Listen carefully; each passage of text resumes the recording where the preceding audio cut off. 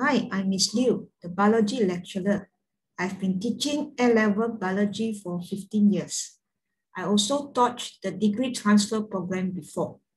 So allow me to share with you what is A-level biology.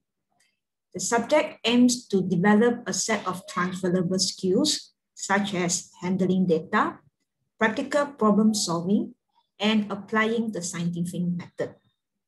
So the subject can help students to acquire the essential scientific knowledge and skills that require for progressions to further studies or employment. Well, I believe that the best motivation for a student is a real passion for the subject they are learning.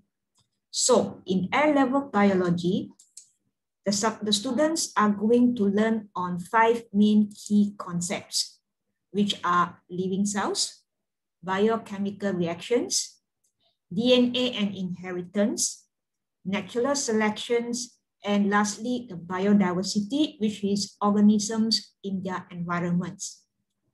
My teaching philosophy is very simple, which is teaching is about learning. So I learn together with students in my classroom. Let's join me in the learning and see you in my classroom. Thank you.